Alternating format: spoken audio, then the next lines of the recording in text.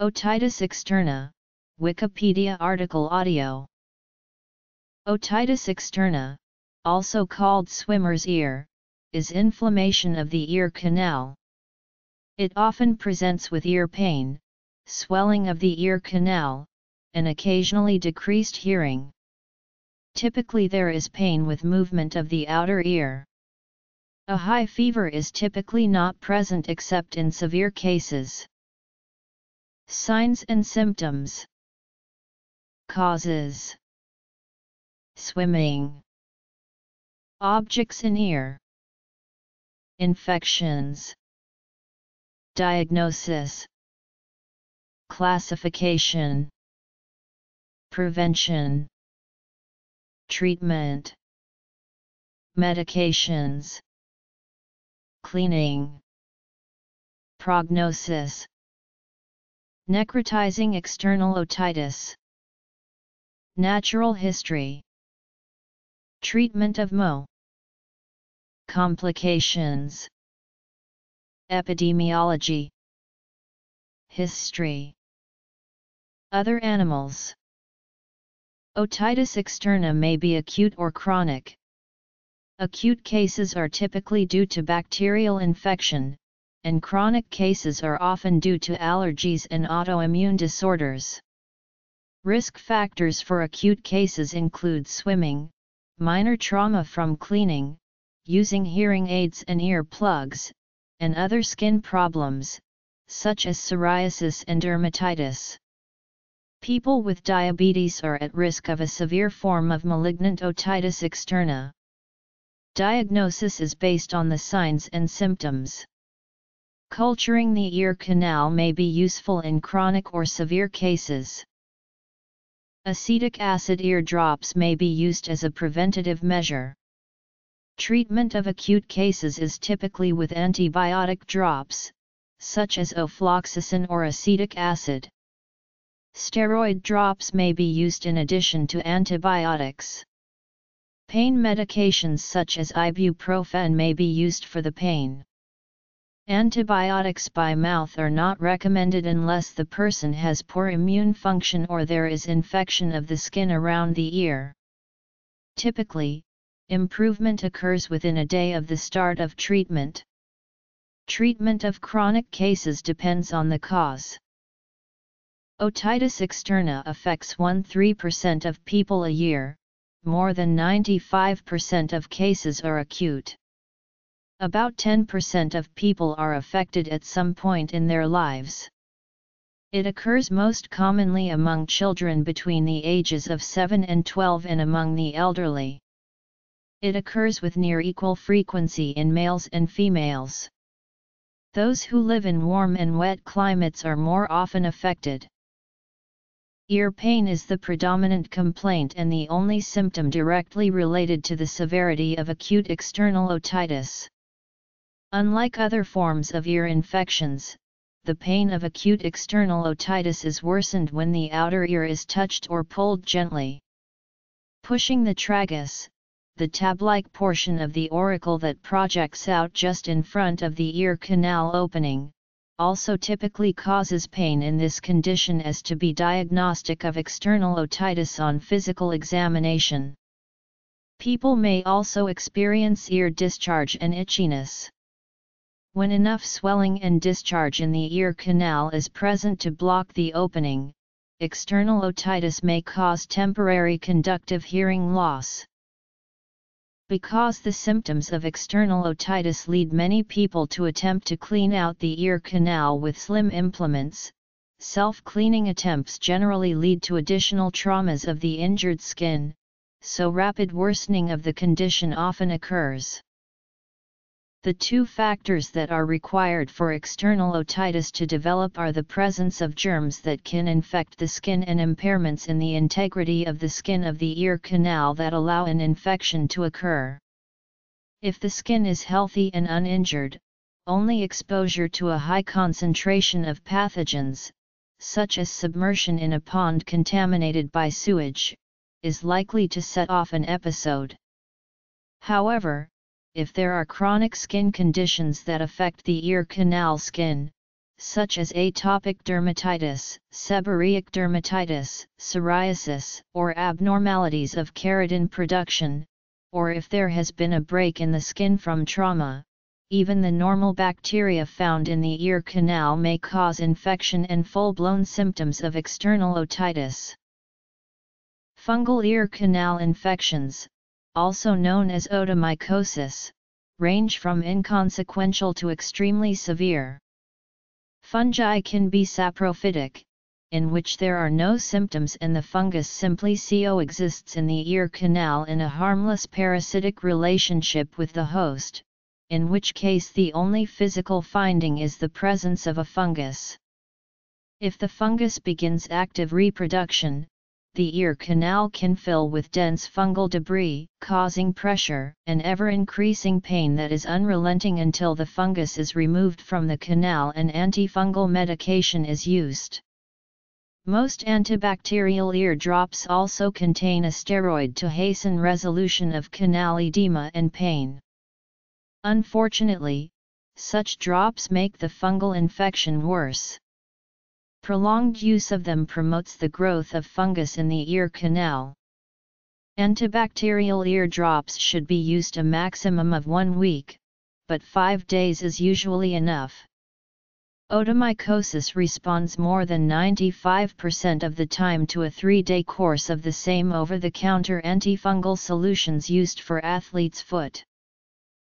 Swimming in polluted water is a common way to contract swimmer's ear, but it is also possible to contract swimmer's ear from water trapped in the ear canal after a shower, especially in a humid climate. Constriction of the ear canal from bone growth can trap debris leading to infection. Saturation divers have reported otitis externa during occupational exposure. Even without exposure to water, the use of objects such as cotton swabs or other small objects to clear the ear canal is enough to cause breaks in the skin, and allow the condition to develop. Once the skin of the ear canal is inflamed, external otitis can be drastically enhanced by either scratching the ear canal with an object, or by allowing water to remain in the ear canal for any prolonged length of time. The majority of cases are due to Pseudomonas aeruginosa and Staphylococcus aureus, followed by a great number of other gram-positive and gram-negative species. Candida albicans and Aspergillus species are the most common fungal pathogens responsible for the condition. When the ear is inspected, the canal appears red and swollen in well-developed cases. The ear canal may also appear eczema-like, with scaly shedding of skin. Touching or moving the outer ear increases the pain, and this maneuver on physical exam is important in establishing the clinical diagnosis. It may be difficult to see the eardrum with an otoscope at the initial examination because of narrowing of the ear canal from inflammation and the presence of drainage and debris. Sometimes the diagnosis of external otitis is presumptive and return visits are required to fully examine the ear. The culture of the drainage may identify the bacteria or fungus causing infection, but is not part of the routine diagnostic evaluation. In severe cases of external otitis, there may be swelling of the lymph node directly beneath the ear. The diagnosis may be missed in most early cases because the examination of the ear, with the exception of pain with manipulation, is nearly normal. In some early cases, the most striking visual finding is the lack of earwax. As a moderate or severe case of external otitis resolves, weeks may be required before the ear canal again shows a normal amount of it. In contrast to the chronic otitis externa, acute otitis externa is predominantly a bacterial infection, occurs suddenly, rapidly worsens, and becomes painful. The ear canal has an abundant nerve supply, so the pain is often severe enough to interfere with sleep. Wax in the ear can combine with the swelling of the canal skin and the associated pus to block the canal and dampen hearing, creating a temporary conductive hearing loss. In more severe or untreated cases, the infection can spread to the soft tissues of the face that surround the adjacent parotid gland and the jaw joint, making chewing painful. In its mildest forms, Otitis externa is so common that some ear, nose and throat physicians have suggested that most people will have at least a brief episode at some point in life. While a small percentage of people seem to have an innate tendency toward chronic otitis externa, most people can avoid otitis externa altogether once they understand the intricate mechanisms of the disease. The skin of the bony ear canal is unique, in that it is not movable but is closely attached to the bone, and it is almost paper thin. For these reasons, it is easily abraded or torn by even minimal physical force. Inflammation of the ear canal skin typically begins with a physical insult, most often from injury caused by attempts at self-cleaning or scratching with cotton swabs, pen caps, fingernails, hairpins, keys, or other small implements. Another causative factor for acute infection is prolonged water exposure in the forms of swimming or exposure to extreme humidity, which can compromise the protective barrier function of the canal skin, allowing bacteria to flourish, hence the name swimmer's ear. The strategies for preventing acute external otitis are similar to those for treatment. Effective solutions for the ear canal include acidifying and drying agents, used either singly or in combination. When the ear canal skin is inflamed from the acute otitis externa, the use of dilute acetic acid may be painful. Burow's solution is a very effective remedy against both bacterial and fungal external otitis. This is a buffered mixture of aluminum sulfate and acetic acid, and is available without prescription in the United States. Ear drops are the mainstays of treatment for external otitis. Some contain antibiotics, either antibacterial or antifungal, and others are simply designed to mildly acidify the ear canal environment to discourage bacterial growth. Some prescription drops also contain anti-inflammatory steroids, which help to resolve swelling and itching. Although there is evidence that steroids are effective at reducing the length of treatment time required, fungal otitis externa may be caused or aggravated by overly prolonged use of steroid-containing drops. Antibiotics by mouth should not be used to treat uncomplicated acute otitis externa. Antibiotics by mouth are not a sufficient response to bacteria which cause this condition and have significant side effects including increased risk of opportunistic infection. In contrast, topical products can treat this condition. Oral anti-pseudomonal antibiotics can be used in case of severe soft tissue swelling extending into the face and neck and may hasten recovery. Although the acute external otitis generally resolves in a few days with topical washes and antibiotics, complete return of hearing and cerumen gland function may take a few more days. Once healed completely, the ear canal is again self-cleaning. Until it recovers fully, it may be more prone to repeat infection from further physical or chemical insult. Effective medications include ear drops containing antibiotics to fight infection, and corticosteroids to reduce itching and inflammation. In painful cases a topical solution of antibiotics such as aminoglycoside, polymyxin, or fluoroquinolone is usually prescribed. Antifungal solutions are used in the case of fungal infections. External otitis is almost always predominantly bacterial or predominantly fungal, so that only one type of medication is necessary and indicated. Removal of debris from the ear canal promotes direct contact of the prescribed medication with the infected skin and shortens recovery time. When canal swelling has progressed to the point where the ear canal is blocked, topical drops may not penetrate far enough into the ear canal to be effective. The physician may need to carefully insert a wick of cotton or other commercially available, pre-fashioned, absorbent material called an earwick and then saturate that with the medication. The wick is kept saturated with medication until the canal opens enough that the drops will penetrate the canal without it. Removal of the wick does not require a health professional. Antibiotic ear drops should be dosed in a quantity that allows coating of most of the ear canal and used for no more than 4 to 7 days. The ear should be left open. It is imperative that visualization of an intact tympanic membrane is noted. Use of certain medications with a ruptured tympanic membrane can cause tinnitus, vertigo, dizziness, and hearing loss in some cases. Otitis externa responds well to treatment, but complications may occur if it is not treated.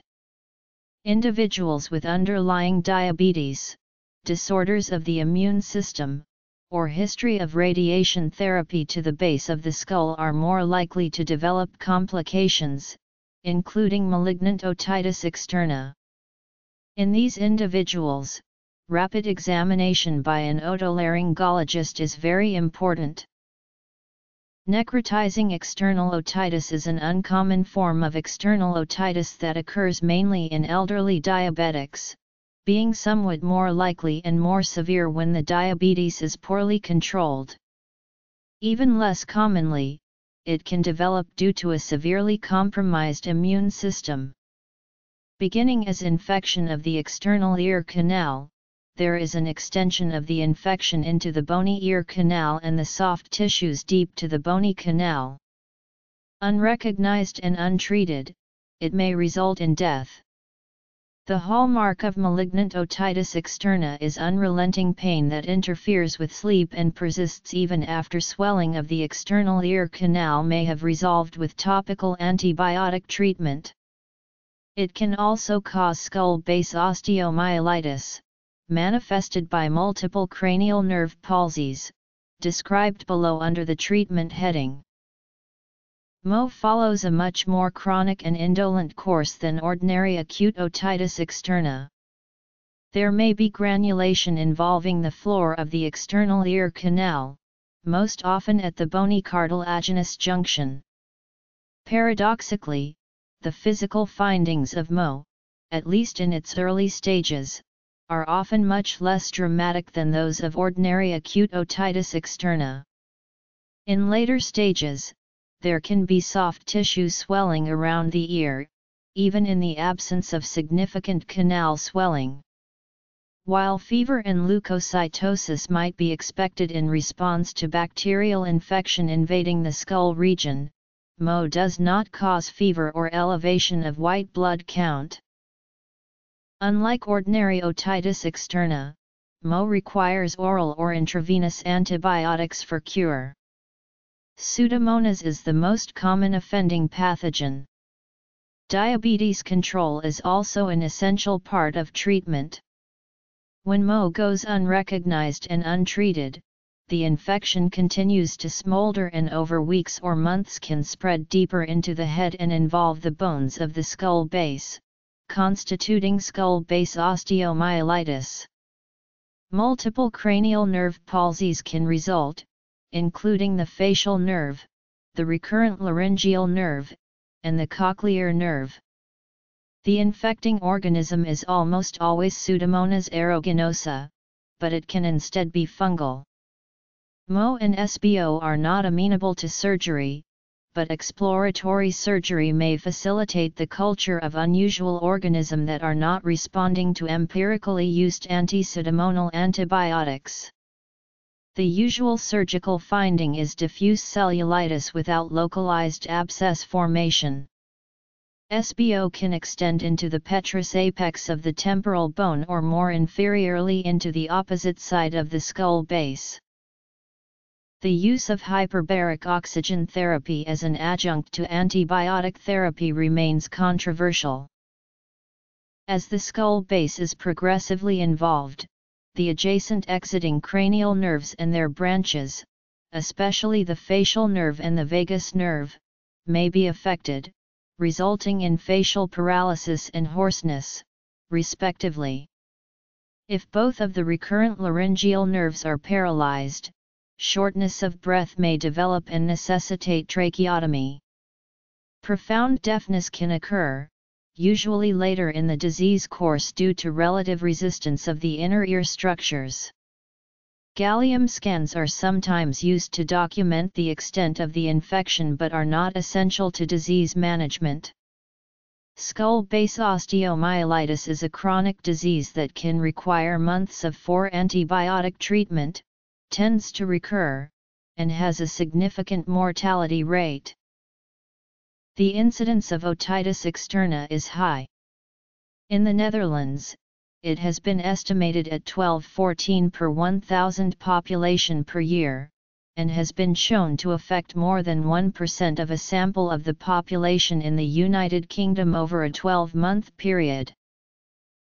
Avoid inserting anything into the ear canal, use of cotton buds or swabs is the most common event leading to acute otitis externa, most normal ear canals have a self-cleaning and self-drying mechanism, the latter by simple evaporation.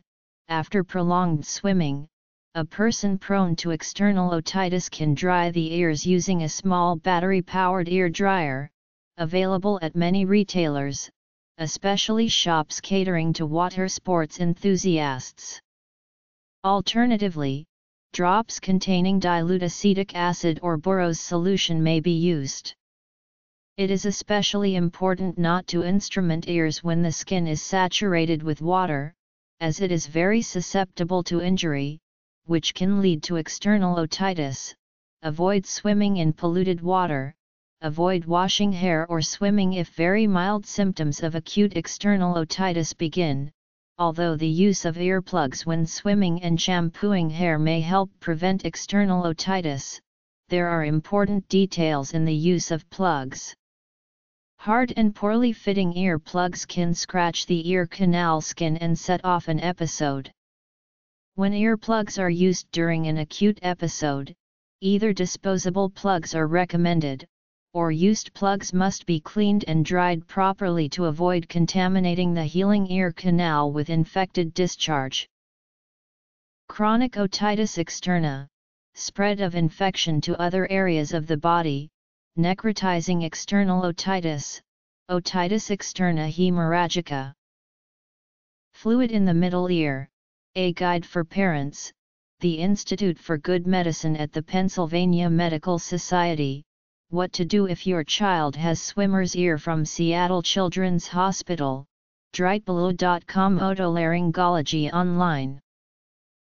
During the Tektite project in 1969 there was a great deal of otitis externa. The diving medical officer devised a prophylaxis that came to be known as Tektite solution, equal parts of 15% tannic acid, 15% acetic acid and 50% isopropanol or ethanol. During Tektite ethanol was used because it was available in the lab for pickling specimens.